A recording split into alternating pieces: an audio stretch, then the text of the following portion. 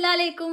അപ്പൊ നാളേക്ക് college Christmas പരിപാടി ഉണ്ട് അപ്പൊ അതിന് വേണ്ടി ടീച്ചർ എടുക്കാൻ പോകണ്ട ഞാനിവിടെ അടുത്തുള്ള കടയേക്കാണ്. ഞാനും പപ്പിയാണ് പോവാൻ വിചാരിച്ചിരുന്നത്. അപ്പൊ അത് എന്റെ അനിയനും കൂടി ഉണ്ട് പറഞ്ഞപ്പോ ഓനും കൂട്ടിയിട്ട് ടീഷർട്ട് എടുക്കാൻ പോകും ഗൈസ് അപ്പം അന്തിപ്പാതിലായപ്പോഴാണ് എനിക്ക് ടീഷർട്ട് എടുക്കണം എന്നുള്ള ബോധം വന്നത് ഗൈസ് അതായത് എനിക്ക് ടീഷർട്ട് കുറേ ഉണ്ടെന്നുണ്ടെങ്കിൽ ഞാൻ വീട്ടിലിടാൻ വേണ്ടി ആക്കിയിട്ട് മൊത്തം കേട് വരുത്തിയിരിക്കണം പുതിയ ടീഷർട്ട് എടുക്കാൻ വിചാരിച്ചിട്ടോ വലിയ വിലന്റെ വേണ്ട വിചാരിച്ചിട്ടാണ് ഇവിടെ തിരുപ്പൂർ എന്റെ അടുത്ത് തന്നെ ഒരു ഷോപ്പ് ഉണ്ട്. അങ്ങോട്ട് പോയത് കേട്ടോ പപ്പി വെറുതെ ഇരിക്കുകയാണ് വണ്ടി ഉണ്ട്. അപ്പം പിന്നെ എന്തിനാ നമ്മൾ റിസ്ക് എടുക്കുന്നത്? അപ്പം നമുക്ക് പോവാ വിചാരിച്ചു.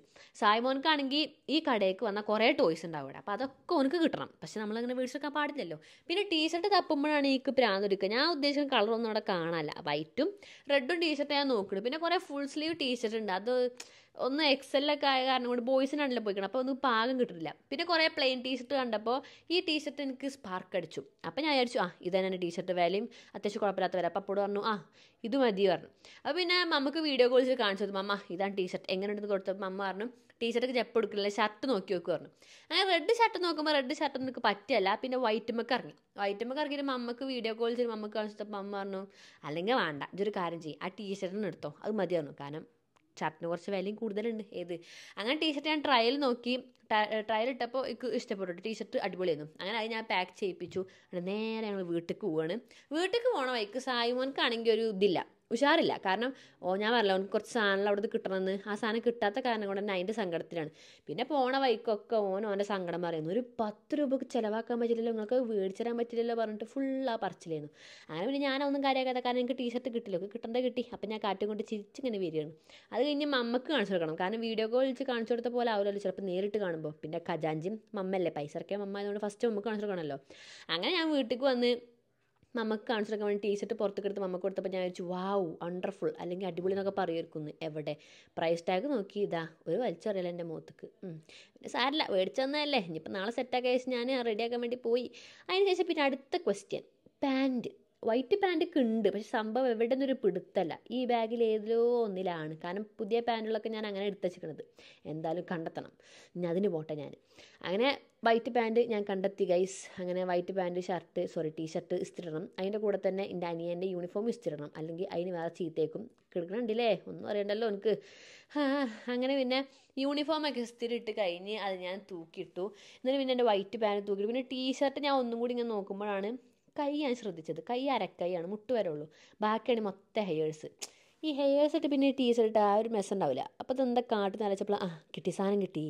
ഒരു സംഭവം ഉണ്ട് കേട്ടോ ഞാൻ അമ്മന്റെ ഷെൽഫിലാണ് കണ്ടിരിക്കുന്നത് അതൊന്ന് പോയി അടിച്ചു മാറട്ടെ അപ്പോൾ ഇതാണ് നമ്മൾ ന്യൂഡിന്റെ anti tanning hair removal cream കേട്ടോ ഇത് വളരെ സിമ്പിളായിട്ട് അഞ്ച് മിനിറ്റ് കൊണ്ട് നമുക്ക് ഹെയർ റിമൂവ് ചെയ്യാൻ സാധിക്കും കേട്ടോ പിന്നെ ഇത് പറഞ്ഞത് നമ്മൾ ന്യൂഡിന്റെ anti tanning hair removal cream വരുന്നത് ട്വിൻ പാക്കിലാണ് അതായത് ഒന്ന് കഴിഞ്ഞാൽ വേറെ ഒന്ന് മേടിക്കാനുള്ള ടെൻഷന്റെ ആവശ്യമില്ല രണ്ടെണ്ണം ഉണ്ടാവും കേട്ടോ പിന്നെ ഇതിൽ അർബോട്ടിൻ കോജിക് ആസിഡൊക്കെ അടങ്ങിയ കാരണം കൊണ്ട് തന്നെ സ്കിൻ ബ്രൈറ്റനിങ്ങിനും സ്കിൻ ഡാർക്കനിങ് പ്രിവെന്റ് ചെയ്യാനും പിന്നെ ഡാർക്ക് സ്പോട്ട് വരുന്ന പ്രിവെന്റ് ചെയ്യാനൊക്കെ ഹെൽപ്പ് ചെയ്യണം കേട്ടോ പിന്നെ ഇതിൽ പപ്പായ എക്സ്ട്രാക്ട് ഉണ്ട്. അത് നമ്മളെ ഹെയർ ഗ്രോത്ത് സ്ലോ ആക്കാനും അലോവേറ ജെല്ല് നമ്മളെ സ്കിന്ന് സ്മൂത്ത് ആക്കാനും പിന്നെ സ്കിന്നിന് എന്തെങ്കിലും ഇറിറ്റേഷൻ വരുന്നുണ്ടെങ്കിൽ അത് ഒഴിവാക്കാനുമായിട്ട് നമുക്കിത് ഹെൽപ്പ് ചെയ്യണം കേട്ടോ കാരണം ബാക്കി ക്രീമും കെമിക്കൽ ആയതുകൊണ്ട് തന്നെ ഭയങ്കര ഇറിറ്റേഷനൊക്കെ വരാൻ ചിലപ്പോൾ സാധ്യത ഉണ്ട് ഒരു പാച്ച് ടെസ്റ്റ് എടുത്ത് നോക്കിയിട്ട് വേണം നമ്മളത് റിമൂവ് ചെയ്യാൻ വേണ്ടിയിട്ട് എല്ലായിടത്തും തേക്കാൻ കേട്ടോ ഞാൻ ഒരു സ്മോൾ പാർട്ട് മാത്രം തേച്ചിട്ടുള്ളൂ. കാരണം നിങ്ങൾക്ക് കാണിച്ചു തരുന്നത് റിസൾട്ട് എന്താണെന്നുള്ളത് അപ്പം എന്റെ സ്കിന്നിലത്തെ ഹെയർസ് ഒക്കെ റിമൂവ് ആയിരുന്നത് പെയിൻലെസ് ആൻഡ് അഫോർഡബിൾ ആണ്. അപ്പം എന്റെ സ്കിന്ന് ഭയങ്കര സ്മൂത്തും ആയിട്ടുണ്ട് കേട്ടോ അപ്പോൾ ഈ ന്യൂഡിന്റെ anti tanning hair removal cream മേടിക്കാൻ താല്പര്യമുള്ളവർക്ക് ഡിസ്ക്രിപ്ഷൻ ബോക്സിൽ ലിങ്ക് കൊടുക്കാം. മേടിക്കും ട്രൈ ചെയ്ത് നോക്കൂ കേട്ടോ അപ്പോൾ ഞാൻ ഉറങ്ങാൻ പോട്ടെ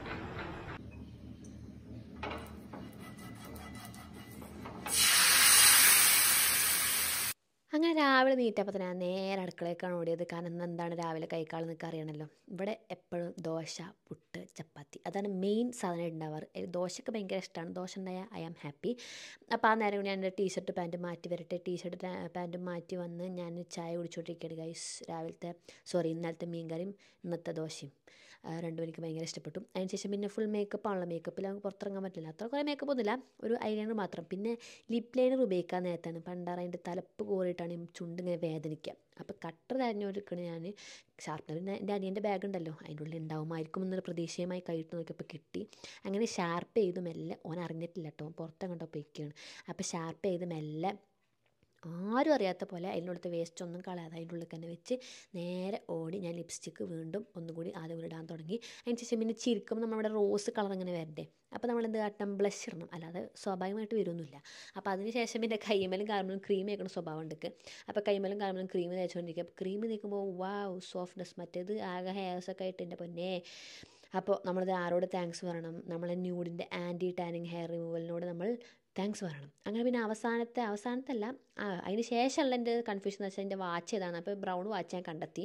അപ്പം എന്റെ അനിയൻ മെയിൻ ആവാൻ വേണ്ടിയിട്ട് ഓന്റെ വാച്ച് കളക്ഷൻ കൊണ്ട് വന്നു ആ മുഖം നോക്കിയോ എന്റെ പൊന്നെ അങ്ങനെ അവസാനം ഇതാണ് എന്റെ ലുക്ക് ഉണ്ടായിരുന്നത്? ഒരു white pant white T sorry red T shirt അങ്ങനെ അതൊക്കെ ഇട്ടിട്ട് ഞാൻ കോളേജിലേക്ക് പോയി. കോളേജിൽ പോയപ്പോൾ അവിടെ ആകെ ഒരു ചുമല കളറായിരുന്നു വെളിച്ചത്തുമൊക്കെ റെഡ് പേപ്പറൊക്കെ ഒട്ടി വെച്ചിട്ട് ഫുൾ റെഡ് കളറായിരുന്നു അങ്ങനെ ഞങ്ങൾ ക്ലാസ് ഡെക്കറേറ്റ് ചെയ്ത അവസ്ഥയാണ്. ഡെക്കറേറ്റ് ചെയ്തുകൊണ്ട് ഇരിക്കുകയാണ് ഡെക്കറേറ്റ് ചെയ്ത് കഴിഞ്ഞിട്ടില്ല.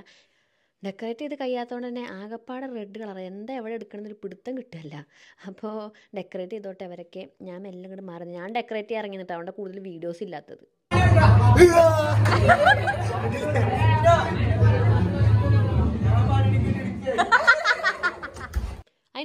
കേക്ക് കട്ടിങ് ആയിരുന്നു കേട്ടോ പരിപാടി. Cake cutting red velvet cake ആയിരുന്നു. അപ്പോൾ സി എച്ചും ഞങ്ങൾ ക്ലാസ് സാറും ആണ് കട്ട് ചെയ്തുകൊണ്ടിരിക്കുന്നത് അങ്ങനെ കുറേ വീഡിയോസ് ഒന്നും എന്നെ എടുക്കാൻ പറ്റിയിട്ടില്ല. കാരണം അവിടെ ചെന്ന് പിന്നെ പ്രോഗ്രാമിലോട്ട് പെട്ട ഫോൺ എടുക്കലൊക്കെ ഭയങ്കര ബുദ്ധിമുട്ടാണ്. ഞങ്ങളൊക്കെ വേറൊരു ഹാളിലായിരുന്നു അപ്പോൾ അങ്ങോട്ട് ഫോൺ അധികം എടുക്കാൻ പറ്റില്ല. കാരണം ഡി ജെ ഒക്കെ ഉള്ള കാരണം ഡാൻസ് കളിക്കണ്ടേ.